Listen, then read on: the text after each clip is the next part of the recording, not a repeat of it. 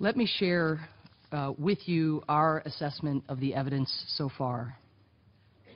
We assess Malaysian Airlines Flight 17 carrying these 298 people from Amsterdam to Kuala Lumpur was likely downed by a surface-to-air missile, an SA-11, operated from a separatist-held location in eastern Ukraine.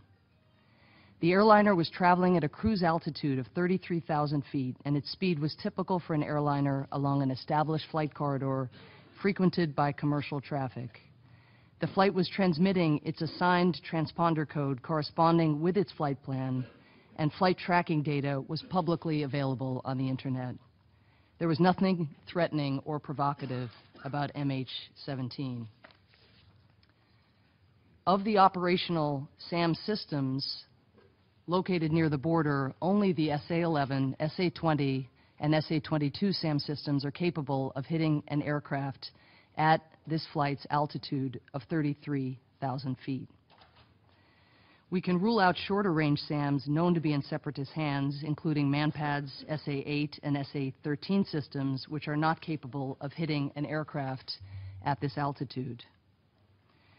Early Thursday, an SA-11 SAM system was reported near Snizhne by a Western reporter, and separatists were spotted hours before the incident with an SA-11 system at a location close to the site where the plane came down.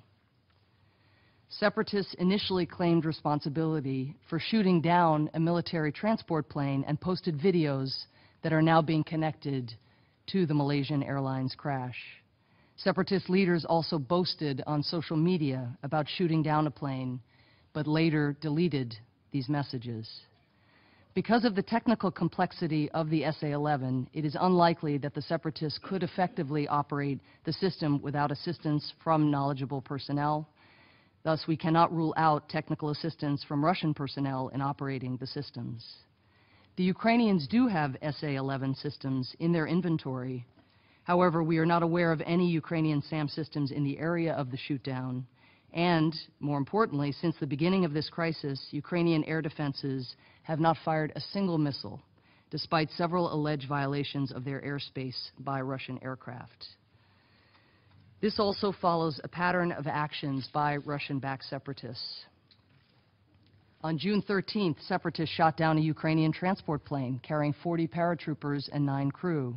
On June 24th, as this council was meeting to welcome Ukraine's unilateral ceasefire, we received word that separatists downed a Ukrainian helicopter killing all nine on board. On July 14th, separatists claimed credit for the downing of a Ukrainian military cargo plane flying at 6,000 meters, and on July 16th, they claimed credit for the downing of a Ukrainian fighter jet. If indeed Russian-backed separatists were behind this attack on a civilian airliner, they and their backers would have good reason to cover up evidence of their crime. Thus, it is extremely important that an investigation be commenced immediately.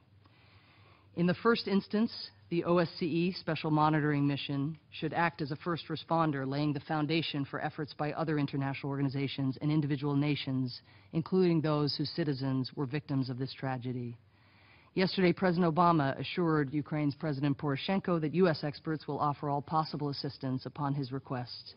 President Poroshenko has invited the independent and credible International Civil Aviation Organization to join an investigation. International investigators must be granted immediate, full, and unfettered access to the crash site. All those concerned, Russia, pro-Russian separatists, and Ukraine, should agree to support an immediate ceasefire to facilitate access by international investigators. In this regard, we look to the SMM also to reach agreement with separatists and others in the region to make this possible. All evidence must remain undisturbed, and any evidence removed from the site by the Russian-backed separatists operating in the area should be promptly returned and handed over. Russia needs to help make this happen.